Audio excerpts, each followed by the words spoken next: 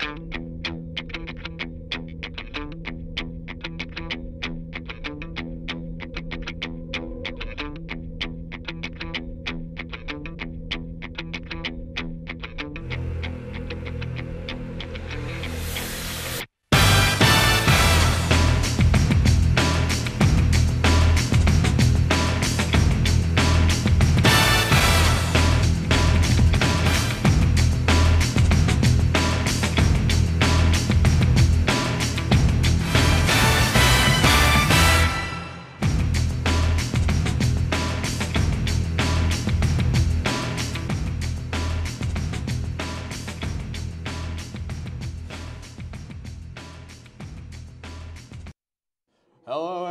Welcome in to another episode of The Big Hit. I'm your host, Tim Quigley. We've got another great and exciting show on the way. We take a look at the Derek Jeterless Yankees and the rest of the entire MLB playoffs. Also, take a look at some college football, preview a couple key games there. Also, our analysts take a dive into the college basketball, give you, give you a little preview there, and we conclude the show with a plethora of topics in a segment I love to call Rapid Fire. But right now, we're going to open things up on the far left. Got Freddie Mitchell in the middle, Dimitri George. We call this segment the first cut.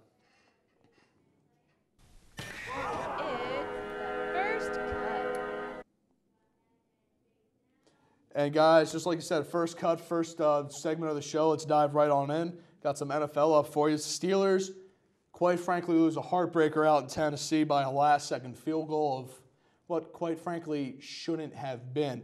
Freddie, I'm going to start down with you.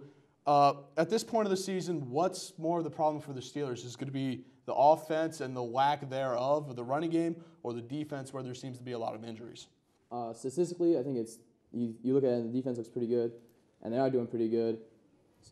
But they got they got to get pressure. You can't. I mean, you can't blame 100, percent but they need to get pressure. I mean, Troy Polamalu has been out. He only played a couple series in one game. Jamie Harrison hasn't played that much either. But they really have to get they get the pressure up. They all need to keep doing what they're doing right now. Just need to keep doing what they're doing. I mean, nothing's to blame. I mean, yeah, all right, there is problems in the offense, but I think I really think it's more on the defense right now. They're not getting pressure at all. They only have 11 sacks this season. That's not Steeler defense. Definitely not Steeler defense. Dimitri, you got anything to add on to that? I've got I've got to agree with him, Tim. I, you know, if this isn't your grandfather's Steelers, you know, when you think of the Steelers, you think defense, run the ball, the steel curtain. Uh, but like I said, there's not getting pressure on the quarterback. Uh, their their secondary is vulnerable when they don't get pressure. Ike Taylor's having a pretty bad, uh, pretty bad s- first couple uh, games here. He's been targeted a lot. He is getting called a lot of for a lot of penalties. Um, I know they've been decimated by injuries this year, this uh, this week. They're, uh, LaMarr Woodley's coming back. Um, and hopefully they'll play James Harris and LaMarr Woodley get to play a game together with each other because when, when they're together, they tend to produce a, a good number of sacks. So you know, like like like, like I said, uh, the defense needs to step it up definitely because the offense is carrying them uh, so far. If it wasn't with them, they, they might be winless. Might be winless. That's strong coming out of any kind of Steelers fans, and definitely not something Steeler Nation doesn't want to hear. I personally think age is starting to hit him.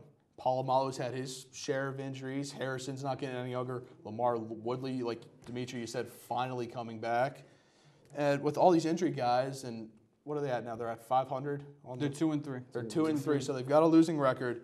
Not a lot of success coming out of the uh, AFC there, or the entire that whole other Conference. yeah the entire conference or the entire division per se. Only two teams, I believe, have a winning record. So I'm going to ask you two guys: Do the Steelers are they still considered a playoff team? Most definitely, they're definitely considered a playoff team. If they get healthy and the offense keeps doing what they're doing, the AFC East is wide open right now. They, have, they didn't play a division game yet, so if they can start winning their division games, I think they'll be all right. They're gonna they'll make the playoffs if they can win those division games. Absolutely, yeah, I, I agree. I can't agree with you more. Um, once they get healthy and they get their player, the, the defense going, turn around. Um, like I said, the offense is possessing the ball uh, for I would think over 35 minutes a game. Uh, So you know the defense is on the field that long. They just gotta you know get dialed up and get some more pressure on the quarterback. Because like I said, they don't get pressure on the quarterback, that secondary is vulnerable and they're gonna give up a lot of big plays. They have to get it turned around. But like I said, it's very mediocre in the AFC. There's only two teams with running records. They've got it. They, they have a chance to turn it around. Yeah, and the only two teams I believe that are in or actually have a winning record, I believe one's the Texans in Baltimore. and Baltimore. So a, wa- a wide open league per se. Absolutely. Let's move things along here. Go to the other side of the state, city of brotherly love, Philadelphia. And it's a theme with Pennsylvania teams this week, losing by a field goal in overtime against the Detroit Lions. At one point, Eagles were up 10 going into the third quarter. So over the fourth and overtime, they managed to blow the game. I want to ask you guys did the Lions deserve the win or did the Eagles give it away and choke? Uh, personally, I think the Eagles choked. This is the, this is the Eagles. Last two years, uh, they blew seven fourth quarter leads in the last two seasons. That's the most in the NFL. And the Steelers were doing good until the fourth quarter. They started bringing the blitz, and then Calvin Johnson started getting one-on-one coverage. and He started catching the ball, and the Lions started driving. I think they just blew the game. Philadelphia chokes in the fourth quarter when it comes down to it and when it matters. That's harsh words, choking in the fourth quarter. Dimitri, you got anything to any positive things, or you still gonna? Is it all defense fault?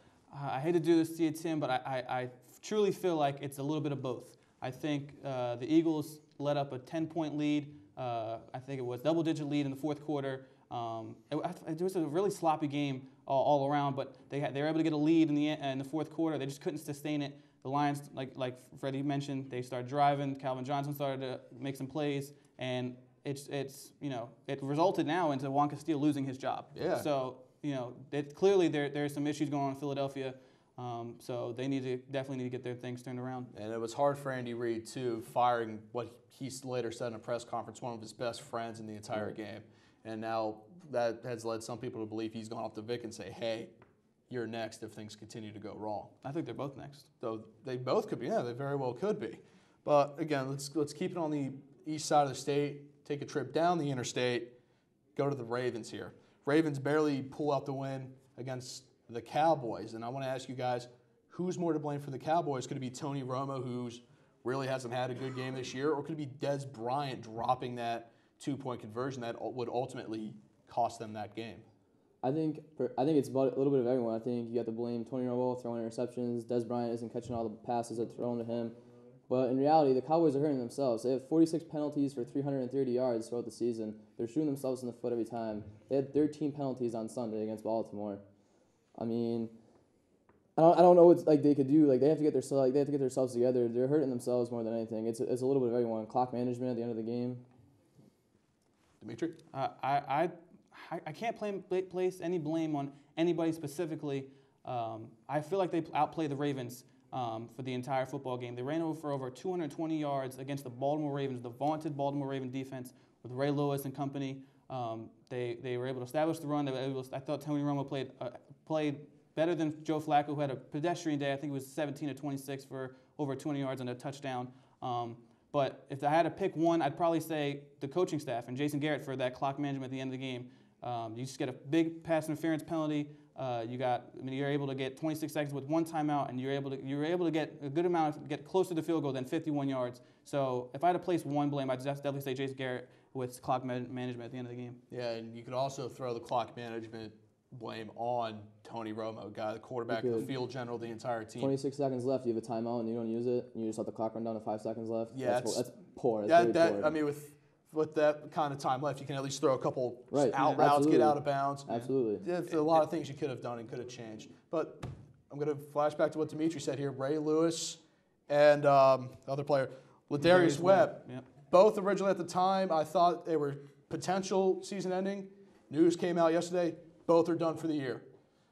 How does this affect the defense, guys? How does, does this change the entire landscape of the AFC I division? I personally think I think the Ravens are their season's probably probably done. You have uh, Terrell Suggs, he's out as well right now. I don't think they really have a chance to do anything without having a defense. That offense they have with Joe Flacco isn't going to put up the numbers they need, 35 to 42 points a game to win them games throughout the season. I don't, I don't, I don't have no. Their window for the playoffs is very small. I disagree. I, I think they're going to be fine. Um, like I like we alluded to earlier, the AFC is fairly mediocre. Uh, they're already five and one. Um, I, I, they're I think they're undefeated in the division so far. Um, but I think the bigger they're not going to be able to replace the leadership, the veteran leadership, the presence of Ray Lewis in the middle of that defense.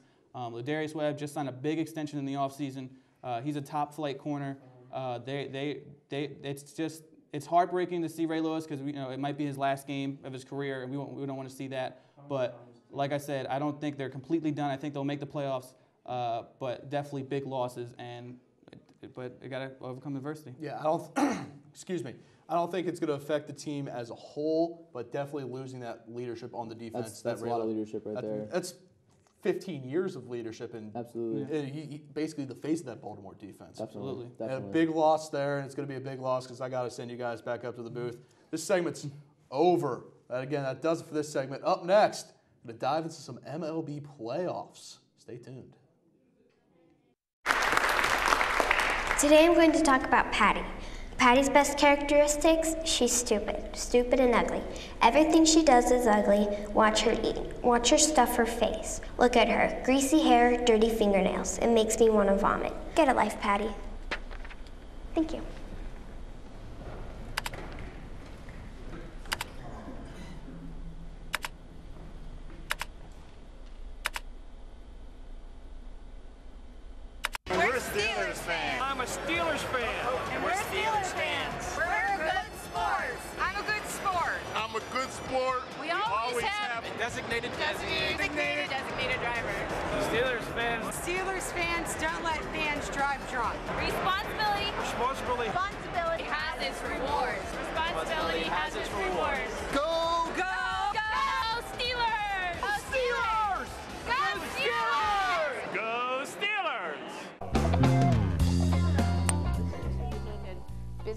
Front, we need Party in the back.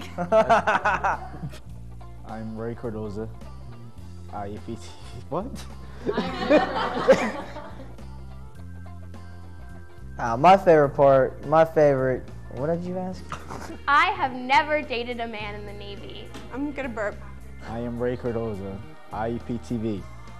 Not like other stations. I don't know.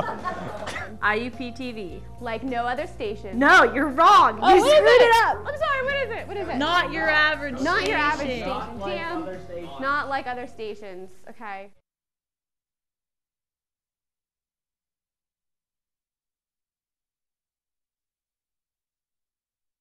And welcome back to the Big Hit, the only sports talk show that really matters here on IUP TV. And as promised before the break, going to dive into some MLB playoffs. Quite frankly, my favorite time of the year, right beside the offseason with free agent signings and managerial positions. We'll get into that a little later. On the far end, Brent Werfel. In the middle, Mark McKetta. Guys, again, let's just get right on into this. We've got a lot to cover. Brent, going to start down with you. I hate to throw this topic your way. Yankees are down 2 0, man. The loose Derek Jeter breaks his ankle out for the rest of the postseason. Do you think the Yankees can come back? And how does Derek Jeter being down like this hurt them the rest of the way throughout the playoffs? Tim, not only do I think that the Yankees can come back, I think they will come back. This this game three tonight, Tuesday night, will be against Justin Verlander, who is a very tough competitor. But I think if we get if the Yankees get to them early and get the bats working, they haven't been hot at all for a long time. I think tonight they realize the importance of this game. I think that they have to bring it. With DJ being out, that's huge because he's the captain. He's the pretty much the soul of this team with him with him not being able to get the, his two hits a game like he always does in October and in this this late in the season in the postseason, it's really going to hurt them because he's really what makes that team go. He he's the captain. DJ, him being out, it's it's going to be a test for the Yankees if they can make this. But I think they have enough de- enough depth, and the bats going to start working here soon. Yeah, maybe the bad start working. Derek Jeter, I bel uh, not Derek Jeter, Alex Rodriguez, I think last time I checked was 0 for 16 with 12 strikeouts. Need him to step up. And the only guy that's really, actually, only two people that have stepped up. Recent, recent acquisition at the trade deadline, Ichiro Suzuki hitting that two run homer in the one game. And the savior, Raul Ibanez. and those seems to be the only two guys stepping up. But Mark, what do you think about the Yankees being down 0 2 to Detroit, facing Verlander? Do they have any shot to come back without Jeter? Well, uh, first I'd like to comment on Derek Jeter. Um, I find that his loss is going to be very detrimental to the team. Um, they need that um, that infield captain uh, that they're missing right now with their struggling hitters. Um, they they benched they recently benched Nick Swisher and Alex Rodriguez for their poor hitting performance, and the loss of Derek Jeter just hurts them even more. Um, also, uh, going back to the Detroit comment. Um, the, the Tigers, this, they're taking it back to Detroit. Um, Yeah. They lost two at home, and now they're playing arguably the best pitcher in baseball. It's, it's going to be rough for them. Definitely going to be rough for them. And Justin Verlander reigning Cy Young and MVP winner, I believe. He won MVP last year, I believe. I believe so. Yeah, I believe so. Again, I hated that decision, but that was way long ago. I can't argue about that anymore. Again, going up against Verlander, I think the Yankees are all but doomed. And you're right. The Ichiro and Raul Ibanez are the only ones that are swinging the bat right now. I thought with the way the, the season ended, with Robbie Cano hitting that, getting that four four game, the four hits a game that last that last game that they mm-hmm. played to really clinch the AL East. I thought that he would bring that bat into the playoffs, and he's he's batting .63, I believe. He's up there with A Rod and Curtis Granderson, the people that you expect to come through in the clutch, but uh, the, it has been remained to be seen. Mark, you got Definitely. Anything else to say about the Yankees? Um, I, I think that their age is also hurting them. Um, a lot of their, their star players that they signed for these 10 year contracts are starting to wear off. Uh, they're all getting old. They're going to have to start looking to youth in the future. Start looking at youth, potentially redrafting, potentially rebuilding, and we've seen if you do re- the rebuilding process the correct way, that takes about four to five years. Absolutely. And if you do it wrong, you're looking at a Pittsburgh Pirate dilemma where you're not winning for 20. I promise you, Tim, the Yankees, Yankees have been there. They will they will recover. Whether or not this season ends the way we want they want it to, I think that I think that they'll be fine rebuilding and transitioning into a different team. Yeah, it's going to be interesting to see uh, how Raul Ibanez keeps this up. I mean, coming from, I mean, I- I'm very biased, very little of the time, I believe so, but when Raul Ibanez was in Philadelphia, really didn't do much. Goes to the Yankees, he hits two home runs, saves their postseason, and I'm ripping out my hair saying, Raul, how come, how come you didn't do this in Philadelphia? Jayson Werth, too, with the Nationals with that game winning home run. So those pinstripes. Yeah, I, I guess. But anyway, moving along, Cardinals. We're going to shift it to the other National League Championship Series, the other or the other championship series going on in the National League. Cardinals are now tied with the Giants, one-one, coming off their most recent game. Uh, we saw with the Cardinals and the Nationals that you can never count the Cardinals out, scoring four runs in the ninth off Drew Storen. Absolute incredible feat. I want to ask you two guys, who do you think wins the series and in how many games? I think this is this is one of the most intriguing battles for the NLCS. You have the Cardinals, who obviously have been there already. I mean, they lost a big part with Albert Pujols, but the Giants have been there. What three years ago? Three removed from the the World Series, 2010? something like that. Yeah, about two years. So this is this is definitely an intriguing battle because they know what they're fighting for, and there's not a lot of inexperience there. I think if I had to pick one, I'd go with the Giants just because I like the way that they're pitching and Tim Lincecum. I, I don't think you can ever count him out. I know that he's not been the same for a while, but I feel like the the atmosphere that the playoffs bring, I think that he can get it going and start working that, and I think the Giants will overcome. I agree. Um, I'm going to take the Giants in six games. Um, I like their, their next two matchups. They have Matt Cain and Tim Lincecum pitching.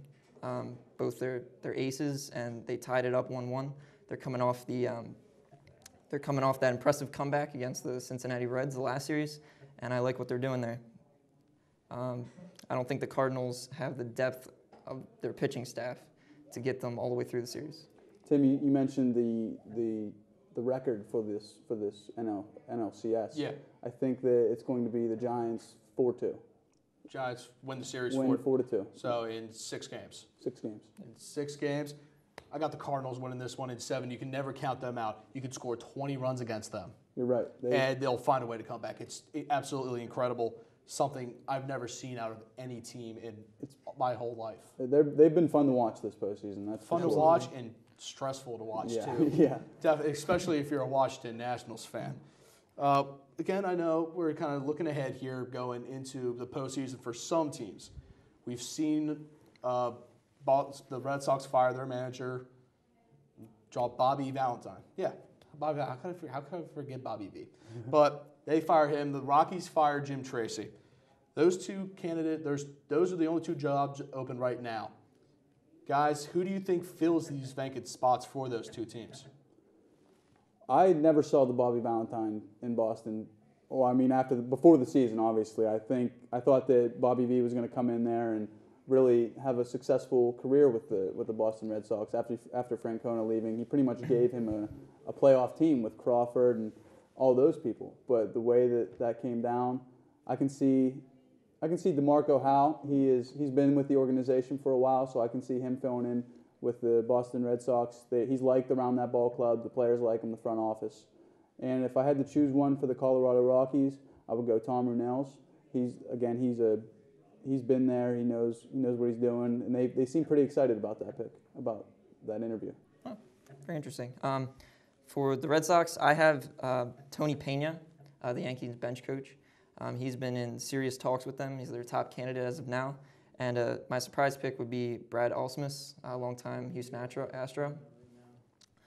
Uh, for the Rockies, there's uh, increasing rumors that Jason Giambi will be uh, the candidate that, uh, That would be grabs the job there. Yeah, that'd be, that'd be interesting to see. Yeah.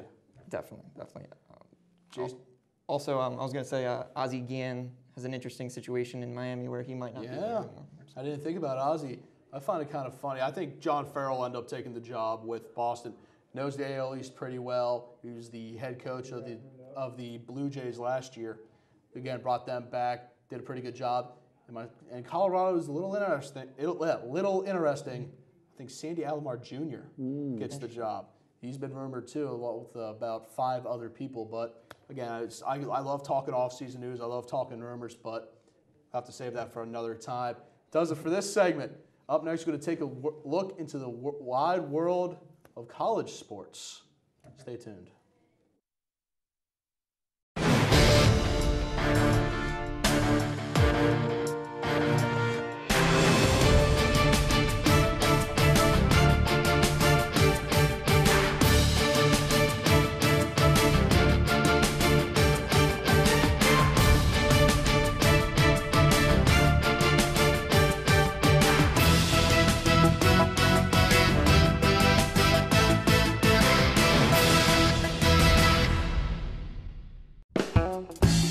More about IUP TV?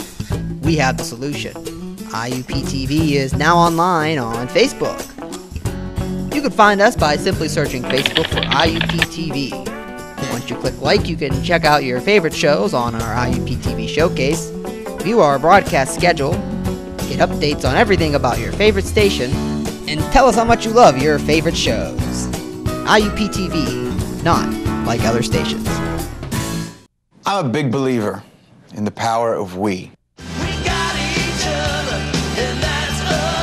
We can tackle the tough challenges we face and build community through service and volunteering. It's time for you to raise your hand. Go to serve.gov and get involved in something you believe in. How will you raise your hand when they call your name? Are you with me? We weren't born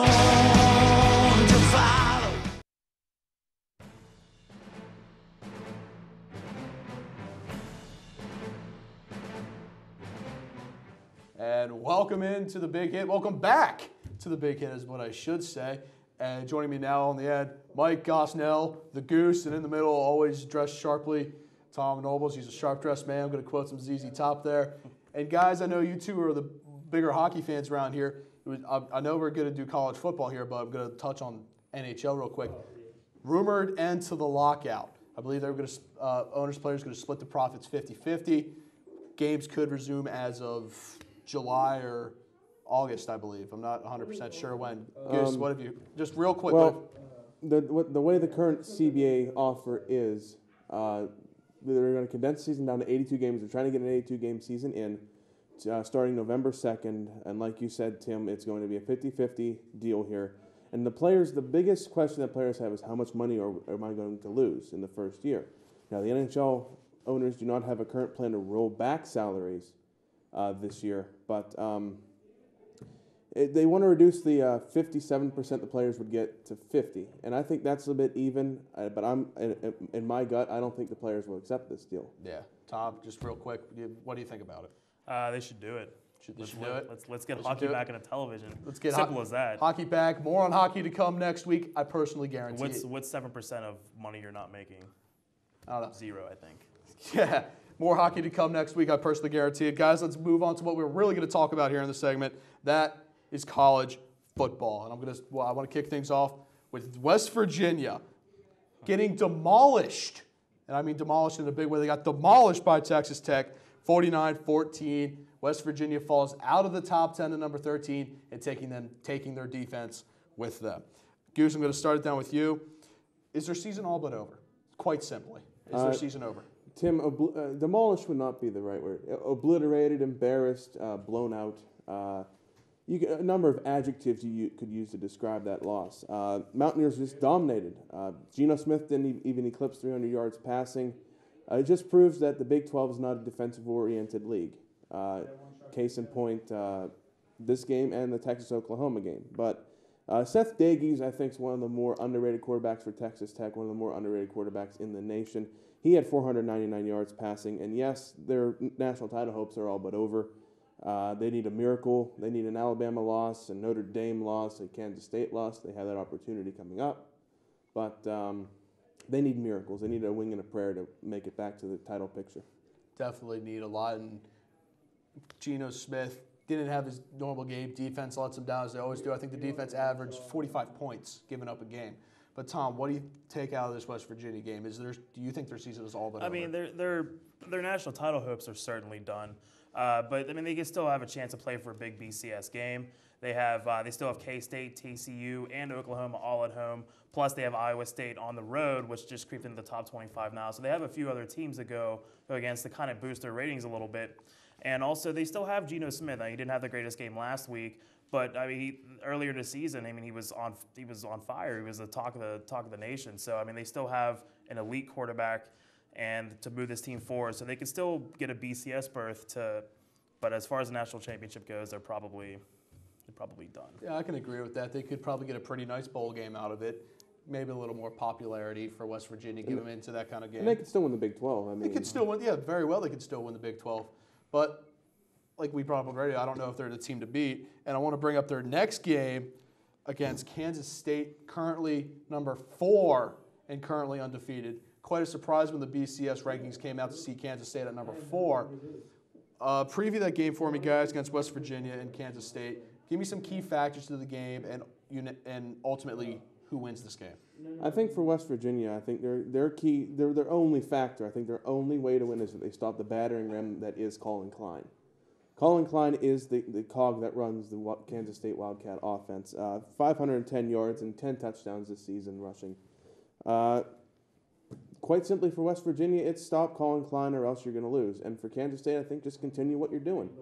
Um, there's uh, there's no way that you're gonna that West Virginia could stop Collin Klein through the air. I mean, he's a run. This is a run first team. It goes through Collin Klein. He's like the Tim Tebow. He's Tim Tebow esque when he was in Florida. But uh, for West Virginia, I mean, if you stop Collin Klein, then you might win this game. Yeah, not to mention John Hubert as well too. But uh, to build Can't off of, yeah, to build off uh, of what you said though with Collin Klein, uh, he's had 100, 100 rushing yards in each of his last two games, uh, including five touchdown uh, five touchdown runs. And but the thing to stat to look at though is he has no touchdown passes on the road this season, and also his yards per carry is a point and a half higher at home.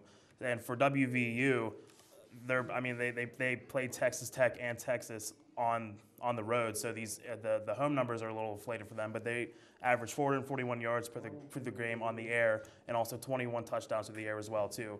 So, but Texas Tech is a similar similar style defense to Kansas State, so. They, what Texas Tech did really well was pressure pressure the, the receivers, get uh, uh, disrupt his uh, Geno Smith's timing a little bit, and that's why he had a, a little bit of an off game.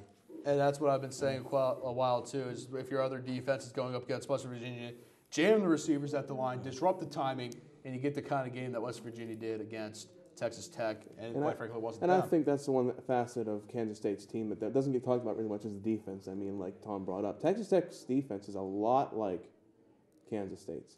A Yeah, lot like d- Kansas State's. It's definitely a lot like Kansas State. And guys, I want to go to another game here.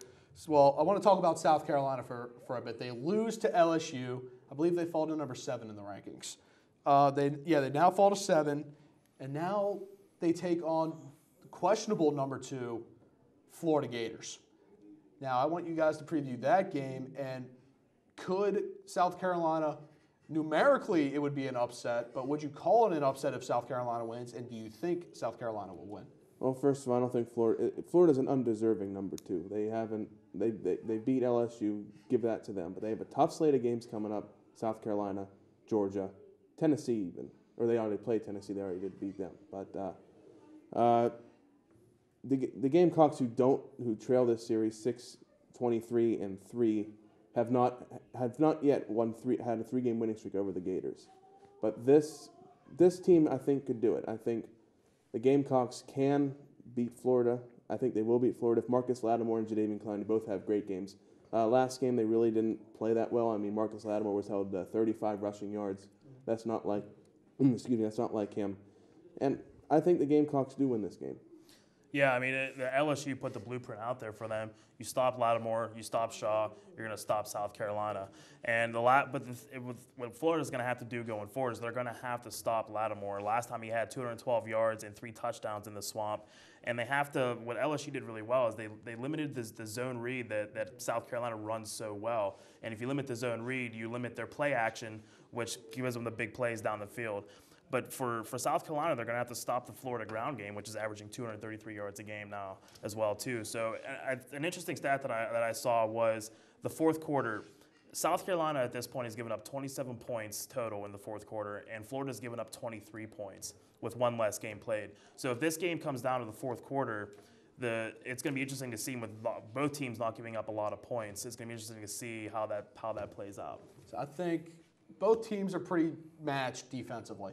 I think it's going to come down to South Carolina and their ability to throw the ball, Mm-hmm. something Florida, quite frankly, doesn't have. They've got a great quarterback, but the throwing game and the air game just isn't on the same level. I as mean, South let's be, let's be honest here. Steve Spurrier runs his offense through Marcus Lattimore. But True. Connor Shaw has to be another piece that, that has to get going. You cannot just run the ball th- through Marcus Lattimore. You cannot run your offense through one person. Yeah, you have to have good, a good supporting cast in order to win games. And suffice it to say, they didn't have a good supporting cast. They didn't, their supporting cast didn't show up last game. No, that's what their offense is, is built off of that zone read and, and getting the big plays off of play action. And what LSU did so well, like I said, was just limit that, limit that zone read, and, and fill those gaps. Yeah, definitely. And uh, guys, want to preview one more game before we call this segment a wrap.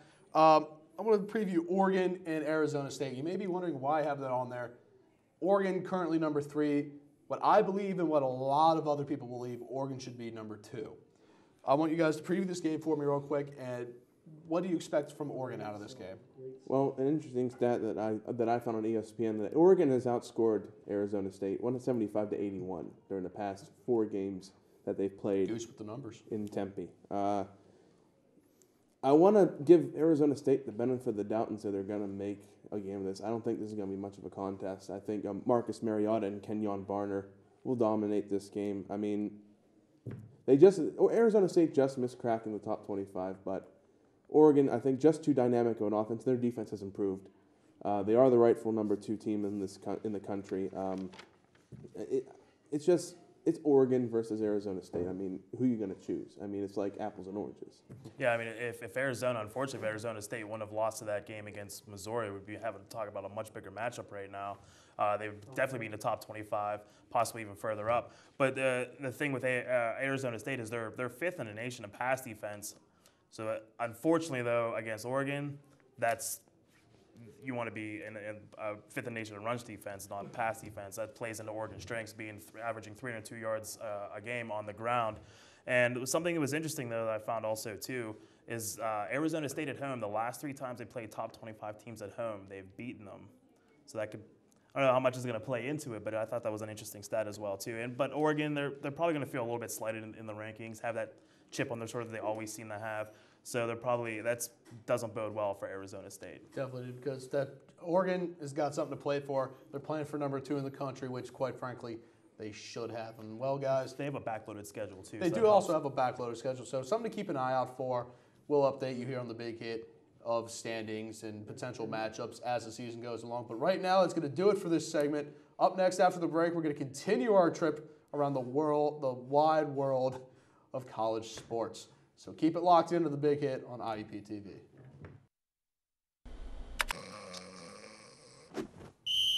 Personal foul? Inactive activities on a glorious day. Huh? Let's get out there and play! Sweet. Ooh, freeze! When do I get to be in? Uh-oh. Hey, Reggie, frozen people can't talk. P-L-A-Y. An hour a day. I'm it. There are lots of great play ideas online, but don't stay too long.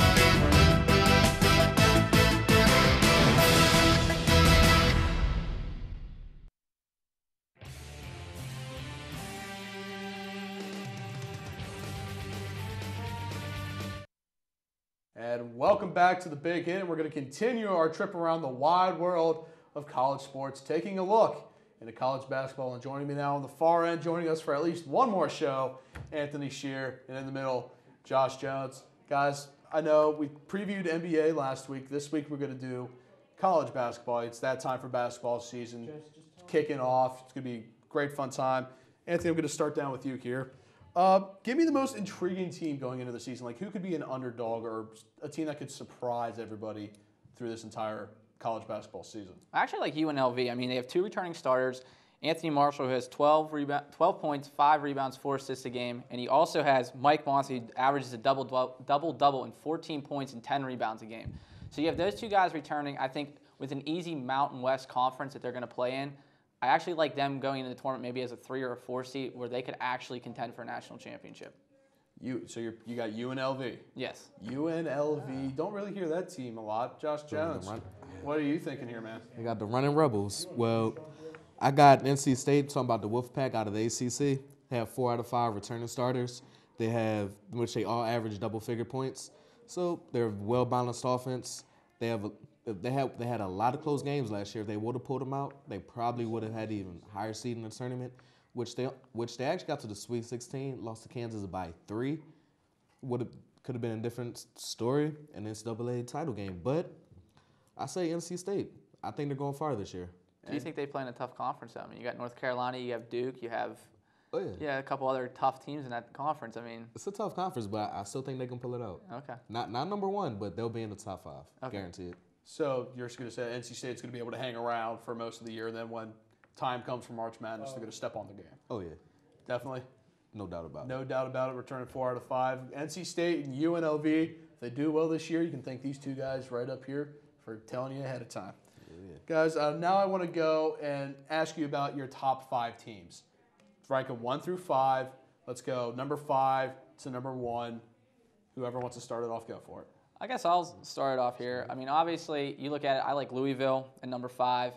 Then after that, you go Kentucky, number three Duke, number two UCLA, and number one Indiana. Louisville has a lot of returning stars. Peyton Siva's coming back. The Big East has kind of fallen off a lot this year to me. And then you look at Kentucky. It's always going to be Kentucky. Kentucky's a good team. They're always going to get young talent in there. You know, you throw UCLA has maybe the best freshman in the country in Shabazz Muhammad. Great name, by the way. I love that name. Shabazz Muhammad. Shabazz. And then you look at Duke. Duke experience. Steph Curry's coming back. Seth Curry. I'm sorry. Seth. Seth Curry's coming back. You have Mason Plumlee coming back, and then also I have Indiana as my number one. They have the best player in the country in Cody Zeller, and we'll talk. We'll touch on that later. But I think when you have the best player in the country and five returning starters on that team, I think they're going to be the number one team in the country. All right, Josh, I know you were making a, uh, you were a little surprised at that. Give me your top five first, uh, top five teams first, and then if you guys want to go and argue at each other's top fives, feel free to go ahead because I know Josh, you had a look on your face like you completely disagree with that. Oh But- no no no! It's similar for the most part. One team that surprised me, but I'll lay out my top five. I have Syracuse at number five, Duke at number four, Louisville at number three, Indiana number two, and Kentucky number one. The Syracuse they have eight eight not returning starters, but they have eight fresh not freshmen, juniors and up. So they're a veteran team. They went 34 and three last year, deep in the tournament. I think they can do it again. Then in Duke, as you said, Seth Curry, he's returning. He and with Austin Rivers, he'll get more playing time. Also, same with uh, Thornton and two Plumlee brothers. They're big on inside. They can go far as well. Then Louisville, size, the quickness, and Siva, and they have Dieng who averaged almost three blocks a game last year, so they're big, big presence. They, then I have Indiana, as you said, all five starters. Cody Zeller, one of the best in the country, and Kentucky is, it's just Coach Calipari. Yeah. And they always get the best recruits in the country, just hands down. But the UCLA surprises me. I think, I mean, you have the best player and best recruit in the country in Shabazz Muhammad coming to your team. It's a young team. They have guys returning from their on their roster. I mean, Muhammad's going to miss time because he got improper benefits, so he'll probably miss some games. But to me, overall, you're talking about a UCLA team that needs to win because Ben Howland needs that contract extension. It's kind of like a make or break year for that team. They need to get to the tournament and maybe even make a Final Four. They need to. Um, the one thing that may go for you in that way is the Pac-12 is becoming a weaker conference. I don't even consider them a power conference anymore. Nah, you get usually have one team coming out in the last couple years. Yeah, they've they fell off. But uh, it's a, it's a tough one. He, if there's one team, it might be UCLA. I just like I I think Shabazz Muhammad. He'll probably come out in the NBA draft after this year. He's going to be a top five pick. He's big. He's tall. He can shoot. Maybe the top player in the country. He is definitely in my top five players in the country too. I, I mean, I know you touched on it. Just fun name to say, Shabazz Muhammad. So I, I mean, every Sh- time he dunks, we can just yell Shabazz and like go absolutely crazy. I don't know. Maybe that's just a weird thing I do. That is a weird thing that you do. Maybe, yeah. Well, okay. Well, let's admit that on air as we're recording. I was thinking maybe shebang because like dunk. Yeah, shebang. yeah. I think that's better. But we'll come up with catchy terms later, I guess. Uh, not for now while we're doing previews. Guys, uh, I want to ask you about your top five players. You, Sheer, you're probably going to have Shabazz Muhammad up there, but let's start with Josh Jones first. Who are your top five players? Rank them number five to number one, and why you have them ranked the way you do. Okay.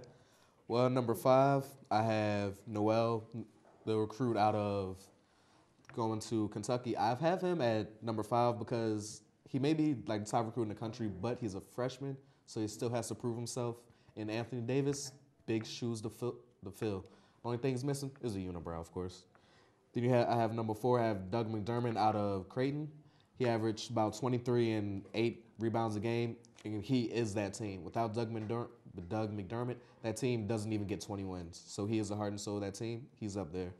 Then at number three, I have Trey Burke out of Michigan. He averaged fif- about 15 points a game, five assists as a freshman. He leads that team. He is the floor general. He can only get better with time. And at at Hardaway as his wingman, this team is something to watch out for. Then number two, I have Cody Zeller. He's athletic, big, runs the floor, can take outside or inside, very talented, like his older brother. And for his experience, five starters, he is the center of that team. Then number one, maybe a little surprise, I have Isaiah Canaan out of Murray State. He is he led the running Rebels win 31 and 2 last year. He led them in scoring, averaging about 20 points a game. But I think he could have a breakout year, kind of like Jimmer Fredette did when he just came out of nowhere. I think Isaiah Canaan is capable of that kind of game. I would say my top five. I mean, all these players are really great, but obviously, you have to put Noel from Kentucky in there. I agree with you on that. I think he's a great recruit, and actually, at number five, Isaiah Canaan from Murray's from Murray State. I think he's the best point guard in the country. To me, he's number one. Then I have Nelson Noel, the kid from Kentucky. I think he's gonna he's not gonna be able to fill Anthony Davis's shoes, but he's gonna be able to step in right away. Number three, I have Doug McDermott from Creighton. Great player, but they're only a one-man team. We saw that in the tournament. They can't go very far when they just have Doug McDermott. Number two, I have my boy Shabazz Muhammad from UCLA. You just want to say that name as well. Yes, because I love as. Shabazz. it's a great name. Why does no one just get on my board with this? No, it's, it's a great, it's a great. And name. number one, I have Cody Zeller. I mean, the guy does everything. He could be this year's version of Anthony Davis. He won't come out because he says he wants to graduate, but he can score, he can defend. He's the reason Indiana is back to where it's at right now in the country. I mean, they're they were a cellar dweller like three years ago. Zeller comes along and they're a great team now. That's my top five. I think the only t- person I have a question mark on is Doug McDermott. Great player. He can score from anywhere on the court, but if he can't defend, and that's a big problem for for Creighton. Is like oh, he can't play any defense. He's not going to get drafted very high in the NBA, and that's a concern for me. Because you're a great college player, but where does it progress after that? Kind of like what how Jimmer is. Yeah. Like non-existent NBA. And Yeah. how JJ Redick for the first few years was like that. Yeah, I mean, McDermott stayed locally. I mean, he had a chance to go somewhere else. I mean, his dad coaches at Creighton, so he decided to go play for his dad. He could have went to a big school like North Carolina and been like a backup guy, but he decided to stay home, be the guy, and I think that kind of benefits him a little bit. But Definitely. I just have concerns about Creighton that team. If somebody else can step up and be a good number two, they could be a dangerous team in the tournament, but I don't know if they can have somebody like that. Oh man, I, I think you just wanted to say Shabazz. I was surprised you didn't say Can I just say it again? Muhammad. Huh? Can I say it again? Yeah, if you want to say it, look right into the camera and say Shabazz Muhammad. Shabazz Muhammad. What a There you- great name. Are you gonna name your kid that one day? I'm gonna nickname him Shabazz because that's a great name. Oh, He better play basketball, is all I have to say. Real quick, I want to I want to ask you guys just one real quick question. Give me one one one name answer. Number six player. Like we did top five. Give me one more player that you wanted to put in the top five but didn't. I'll you go. All right, I how I said Trey Burke, but I didn't say his opposite, Hardaway. He's he's a shooter, kind of like his father, so he was getting up there, and he was always a scorer. So I think if he plays along, uh, plays within the system and along well, he can be at in the top ten. Maybe Naismith, Naismith watch. Maybe. All right, sure. I actually go with Trey Burke is my sixth Uh. guy. I mean, I, he was close. He was in my top five, but I had to I had to hit my boy Shabazz in there. That's why I just You had had to to take. put Shabazz in there, so you drop out that one person. That's Yeah. why I wanted to ask the question to see who Shabazz really took. But again, guys, I gotta close up this segment. I know, Sheer, you just want to keep saying Shabazz Muhammad, Shabazz Muhammad, but I gotta cut you off, Aw, buddy. man. So sorry. Up next, after the break, we're going, to we're going to close out the show with the segment I love to call Rapid Fire. So keep it locked into the big hit. Today I'm going to talk about Patty. Patty's best characteristics, she's stupid. Stupid and ugly. Everything she does is ugly. Watch her eat. Watch her stuff her face. Look at her. Greasy hair, dirty fingernails. It makes me want to vomit. Get a life, Patty. Thank you.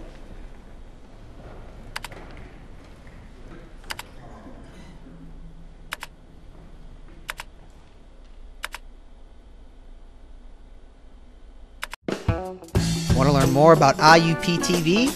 We have the solution. IUP TV is now online on Facebook. You can find us by simply searching Facebook for IUP TV.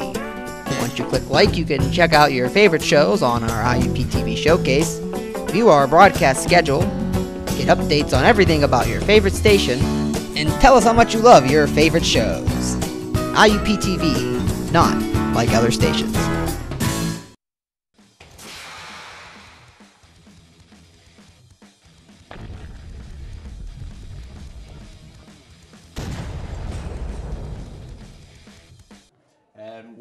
Back to the final segment of the big hit. We like to call this segment Rapid Fire, as you saw by the awesome bumper you saw before the, the fade to us. Trying to get a little technical here.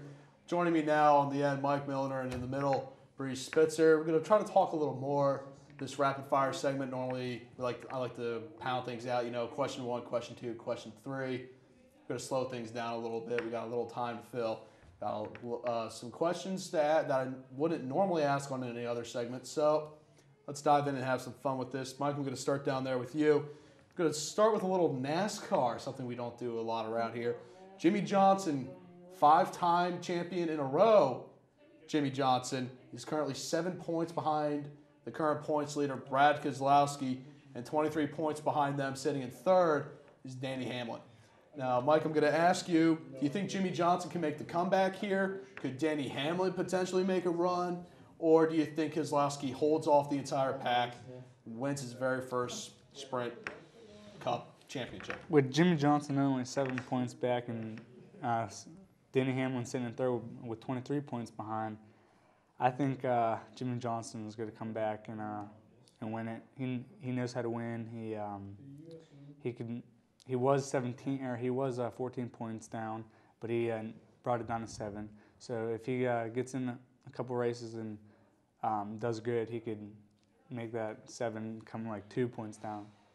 Yeah, def- Jimmy's definitely got the experience to be there. Jeff, Jimmy's definitely got what it takes to overtake the number two Miller Lite Dodge of Brad Keselowski. I know I'm diving in a little too far deep, but Bree, do you think Jimmy can make a comeback here, or what, what do you see happening at the end of the series? I definitely think he has the chance to make a comeback. He knows how to win.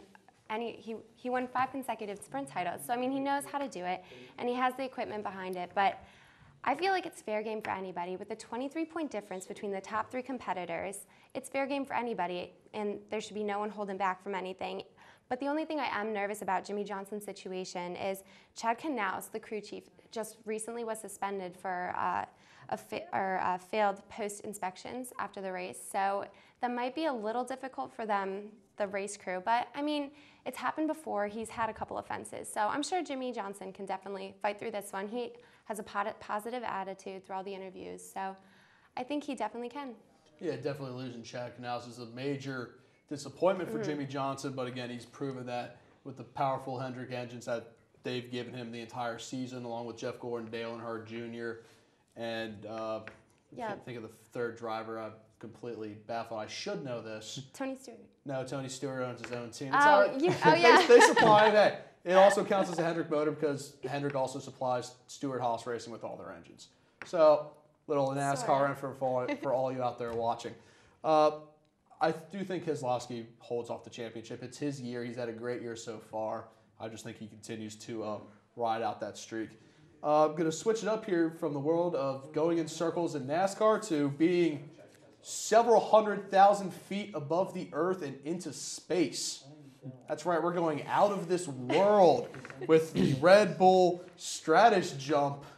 What did, I mean, I just saw a couple clips of that, and I'm looking at the view. Did The you watch guy- it live? I, I did, Oh my unfortunately, gosh. not watch it live. I, wa- I had to catch the highlights on CNN. First one I seen it was delayed because of the wind. Yeah. I mean, Oh, yeah, what do you yeah. guys think of that jump? I mean, is it a jump? Is it a glide? Or is it? A, it's a pretty much a free fall from space? Oh my space. gosh, uh, he's the first man to basically ever crazy. break. the first man to ever break the uh, sound barrier. sound the sound Yeah, barrier. Mach 1. Yeah, Mach one. It, talk about that for a little bit. What do you two think about that? I am just absolutely amazed with him. I I would never be able to do something like that. A bunch of my friends always talk about going skydiving. Mhm. I'm like, I'm so scared. I mean, he hesitated a little bit jumping, but who wouldn't? You're on the Yeah. edge of the atmosphere. That's crazy. Yep. He broke three records. It's the highest uh, highest distance a balloon traveled uh, carrying a human, the highest or the fastest free fall speed, and the highest jump. So he's breaking records left and right. But I mean, uh, Felix Baumgartner has a a long, long history of doing crazy stunts. He actually earlier uh, he flew across the English Channel with a carbon wing, so he's definitely not your average person. But I definitely idolize him. I'm jealous. I agree with everything uh, he had to say. Um, it's crazy how he could, he was that high and he just jumped. And I- 24 miles. That's ridiculous. It's ridiculous, yeah. there was somebody who uh, actually did it uh, 53 years ago. His name was uh, Joseph Kittinger. He was the head person uh, talking to um, Felix. Um, he was the head person of the jump and everything, but he actually did it 53 years ago.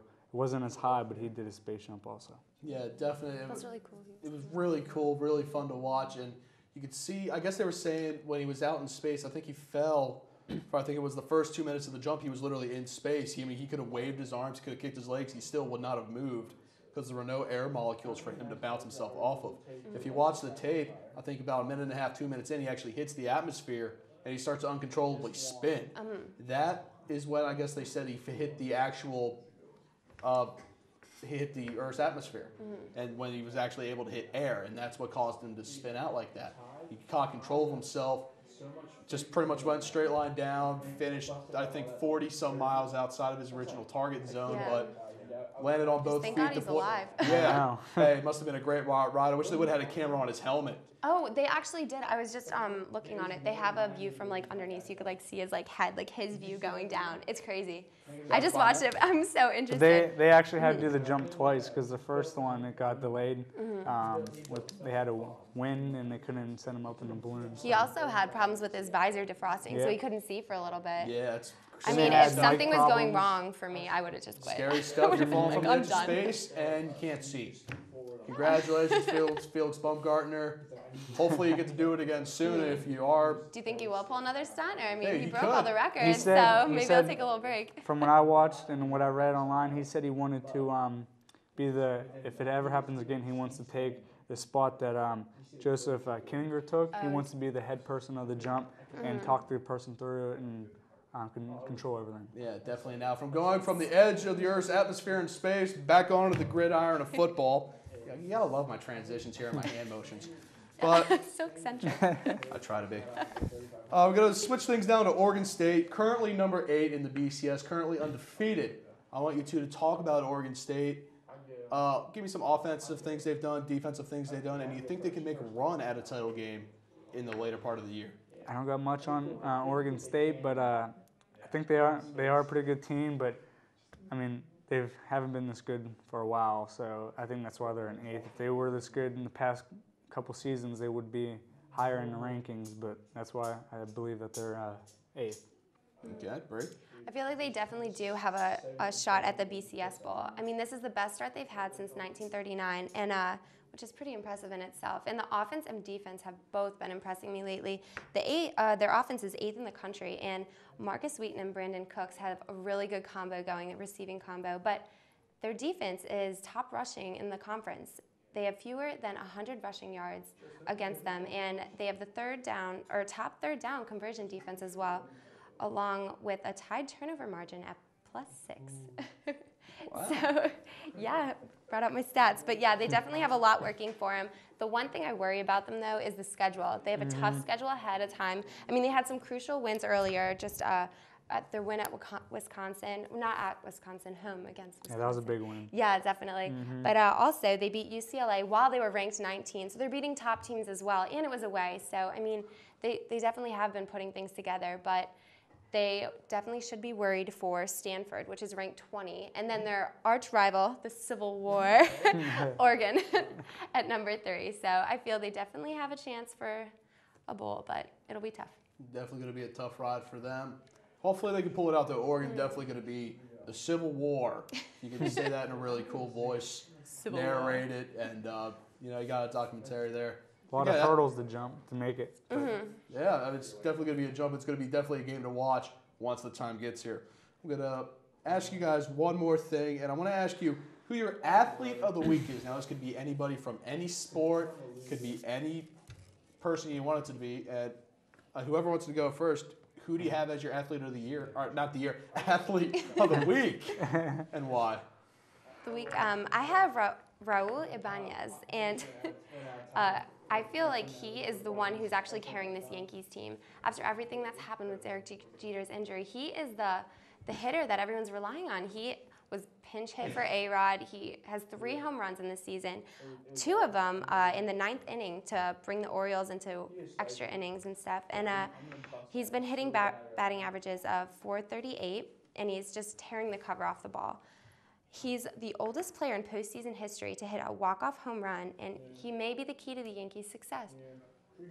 Mike, who do you got? I got first thing that comes to my mind is Peyton Manning. Good Just pick. because, I mean, it, he was the Broncos were down 24 nothing at halftime, and they bring back the second half. They bring uh, 35 unanswered points to win the game, and that just shows you that uh, Peyton Manning is he's back to the old Peyton Manning he was when he played for Colts before he had his surgery and before he had his neck injury, and um, he's I might even think he's better than he was. Yeah, definitely both good picks. If I got a pick, if it means anything, Felix Baumgartner jumped from the edge of the world. That was probably the cool, that was the coolest thing I've ever seen. That view plus what, everything he did, completely awesome. Just absolutely fantastic. Breaking world records left, right, up, and down. The video scares me every time. Video scares me every time. Oh, that's going to do it for this episode of The Big Hit. Make sure you catch us every Wednesday through Friday here on the one and only IUP TV. Make sure you check out our brand new YouTube page too, IUP TV The Big Hit. For director Jess Owak, producer Josh Carney, everybody behind the scenes, Mike Bree, I'm your host Tim Quigley, and I'm saying I'm going to probably see you on YouTube later.